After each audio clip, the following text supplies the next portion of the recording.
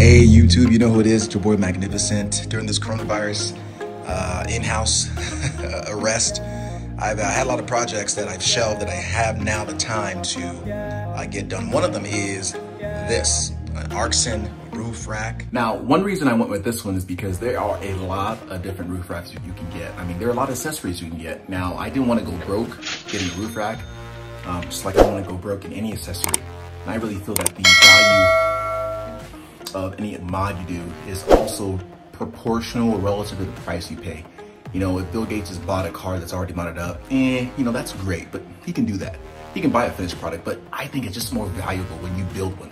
When you get something, maybe the price is right and you kind of add to it. Um, so I think it has more value if you don't have all the money in the world and you're able to make something look good. So I'm with this. It's, again, I think it was just maybe hundred bucks.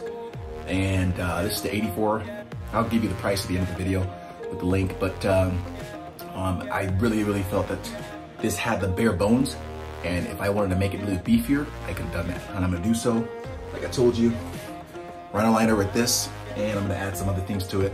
I'm gonna put a, a light bar in the front, and you'll see if you get ones that are already done like that, dude, you could be paying a lot. So that's why I chose to get this Arksen. So hey, if you like it, go ahead and try. And I'm gonna go ahead curb some of the challenges people have, and I'll show you some of those right now difference. this is printed. So to be honest with you, I don't know if this is gonna work. We make the strings louder.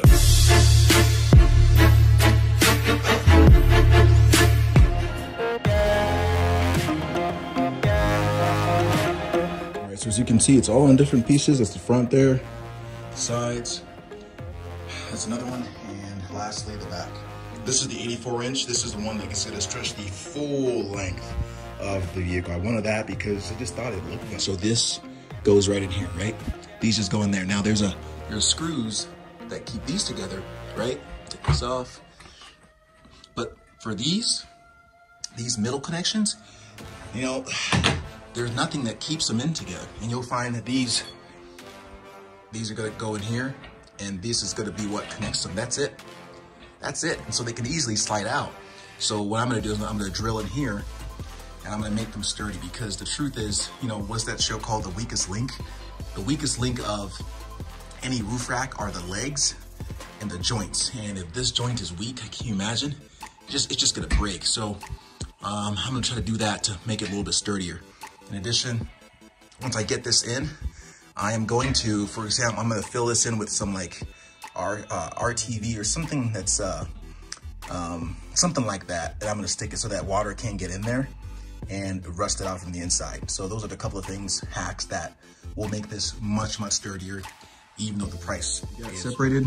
There is a left piece and a right piece. You'll notice the differences, these are small and these are big. So see that hole? See that hole? So you gotta slide these in together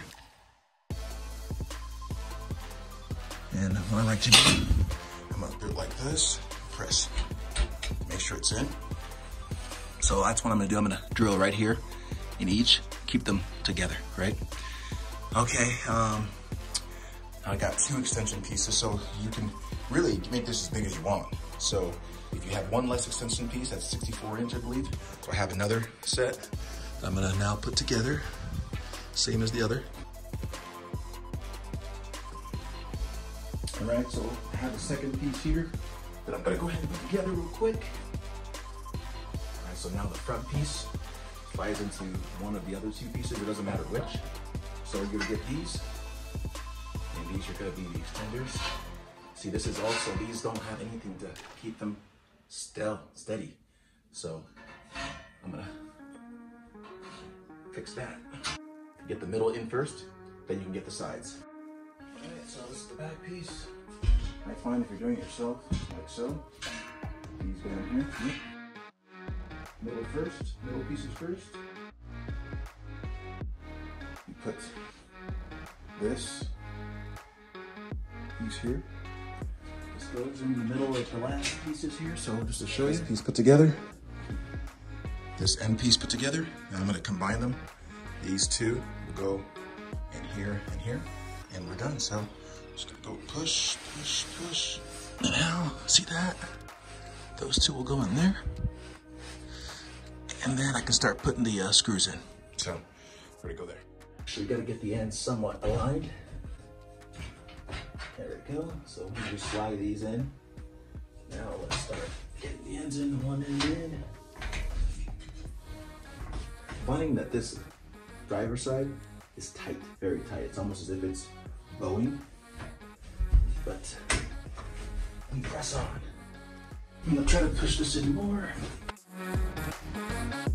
This is probably where I should get a bolt in one and go to the other. Let's Try to keep from bolting them at all, since I'm not gonna be done done.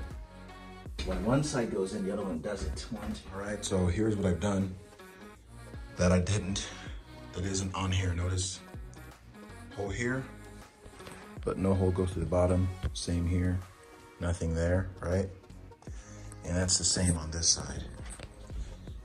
You know, hole here, hole goes to the bottom. And what's supposed to happen is these are supposed to clamp over it and you're just supposed to um, just supposed to basically use that little end when when the when the uh, bolt goes through here the end just kind of grips it I don't like that I wanted to be more sturdy so I drilled a hole all the way through and I'm going to use a locking washer and a nut to tighten it all the way so that when I put these on there, it's gonna go all the way through. Washer, bolt, lock washer, nut. There is no way this thing's gonna be, you know, rattling, you know, because that's one of the biggest challenges with anything, roof rack, light bar, this the rattling. Ain't nobody got time for that. Nonetheless, so here's how it works. Here I went all the way through. I'm gonna clean that up, of course, but I just wanna see how it worked. Went all the way through here. Notice there. And it's very sturdy. So I'm gonna do on this side and we will then rhino line. Once I know all the holes are made, then I'm gonna put it on. Starting with a 5 30 seconds uh, drill bit. Once I get the hole made, I'm gonna go to 1 4th. Go ahead and put this on real quick so I can get the hole perfectly right. Put both on at the same time. I was gonna put one so it's not so heavy. Go through, just make sure that you don't hit the edges of the first hole so that it doesn't mess up the threads. Because, because it's a threaded hole. Push down as much as you can.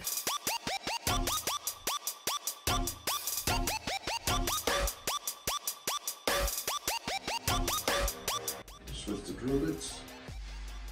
Here's what I to make it bigger. It's hard to go straight through, but you go to the sides. Sideways there. There, I'm just trying to extend it. I'm just gonna use this real quick. I'm doing it inside because it's too cold in the garage. And it's the next best thing, so I'm gonna do a little bit of coats at a time just to make sure it doesn't get overspray. So.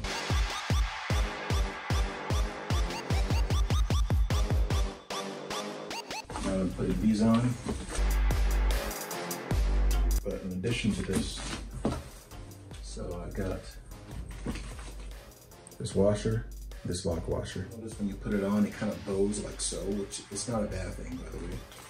I noticed that uh, a lot of uh, trucks, like semi-trailers that have heavy loads, you'll notice that they bow so that when the load is heavy, it can actually settle. So it bows a little bit, don't be too worried. This is the piece I'm talking about here. It's just slightly too small.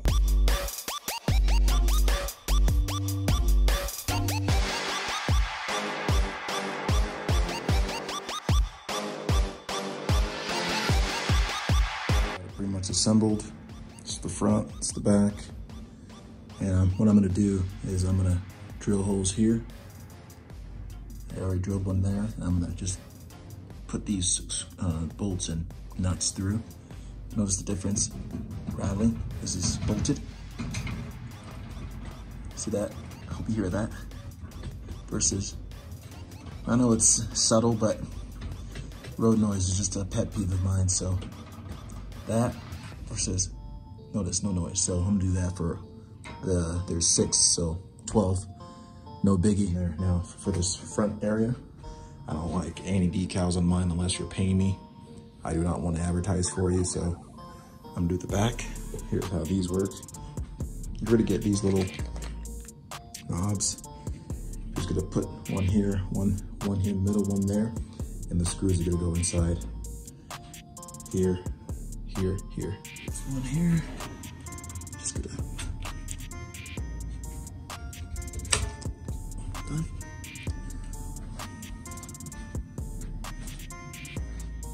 Same areas that I put them on the on the top, I'm gonna put on the bottom. This you're gonna put them opposite. So this is like so here, so that the screws go in properly. You're gonna put them opposite direction. Just sticks in like that. A punch to get the center line.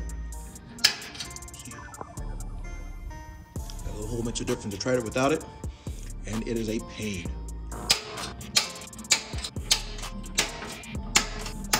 But I'm using the 964ths uh, drill bit because that is what fits the uh, six number sixes that I got. So fits perfect. See? And I'm gonna get my Dremel when I'm done. After I put my washer in there and my nut, I'm gonna just cut it off right there. So. All right, so now using this bad boy, I already got the undercoating, which is the, you know, uh, it resists rust. Now I'm gonna use the truck bed liner spray. Never had it. This is very interesting. I've never had a nozzle like this. It's like, see if we can focus on that. Straight nozzle. All right. All right, while she's drying, the last thing I gotta do is I'm gonna use this uh, sealant. You can use RTV or anything like that to seal. I'm gonna seal in between these joints. That's if there is one chink weakness, it's the only thing where water would get in over time and it would rust from the inside. So I'm gonna put the sealant in there, you know, bit inside there, just around, something small, it won't be seen, but uh, that's the last thing I'm gonna do. So I, I went ahead and used Ultra, it's similar, Ultra, similar to RTV.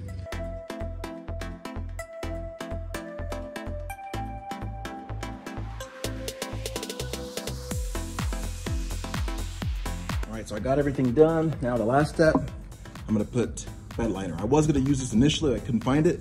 Now that I have, I'm gonna use it because it's that much better. Additionally, I'm looking at the results of what I did and uh, unfortunately it's just not doing what the bed liner had. It's it's not bad, but if you see, you know, there are cracks, which is, eh, it's a kind of different look. I want the more stubby look. So that's what that bed liner does. All right, so to be honest with you, I don't know if this is gonna work because this stuff is so, I kind of left it in a plate position where it shouldn't have been. It's really thick. And so it may gum up, but you know, I'm crazy like that. So I'm gonna try it anyway because I think the look is that much worth it. If it doesn't, hey, it is what it is. So I am taking the risk right now. So let's see what happens. First thing you need is a textured brush. It has to be textured, otherwise it won't work. It'll go on flat. You can get this anywhere from uh, Home Depot. Just ask them textured and um, you'll, you'll know what to do. So let's see what happens.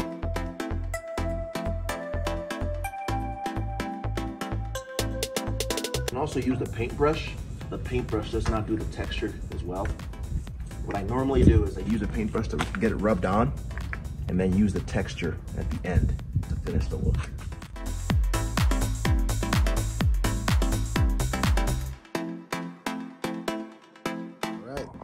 It looks shiny, but it will not uh, cure shiny. Now let it dry and then go ahead and put it on the rack.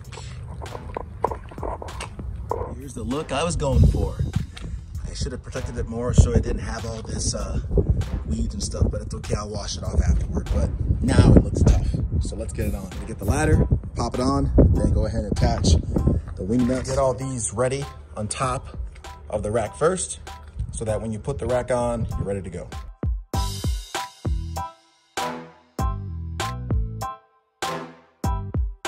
You're gonna get this piece up and over. And then what I've discovered is once you measure the distance, it's a little bit more than I want. So come back a little bit. Two inches, that's what I'm looking for. Between, you'll pop her in. I found it's actually best to get this side first, meaning the, the far side.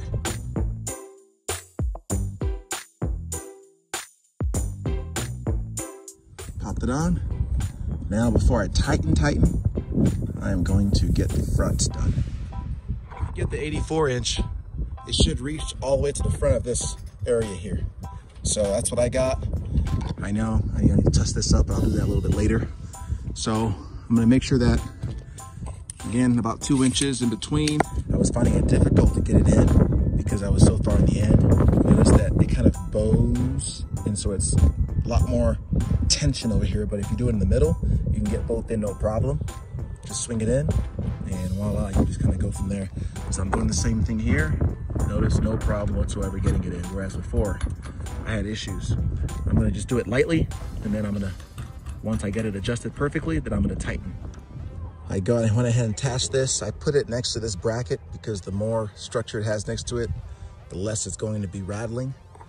Same thing here, I tightened as much as I could, made sure this indentation was in between this bar, same here. If you don't uh, care for that or look for that, what'll happen is you'll go one side more than the other. So just keep that in mind. And as long as they're tight, they'll stay good. I would suggest after like any other load, driving, I don't know, 30 miles, go ahead and readjust it because it will shift a little bit, but after you readjust it then it should be good. So now I'm going to probably, I'm gonna clean this up, put my last amount of uh, coating on there, and uh, we will be good to go.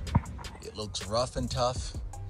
The, the uh, Liner X or Rhino Liner, it's healed, quote unquote cured, and it looks as rough as I want it to look. Um, there are some parts I wish I'd used the the roller brush instead of the actual brush at the end, but it's okay. Um, worked out just fine. Not bad though, not bad. So going it from the look, it's not bad. You know, I've noticed that when you kind of come on it from a far distance, it looks a lot better. So not bad. I wish it would come up just a little bit like there, but that's okay. That's where it stops and it is what it is.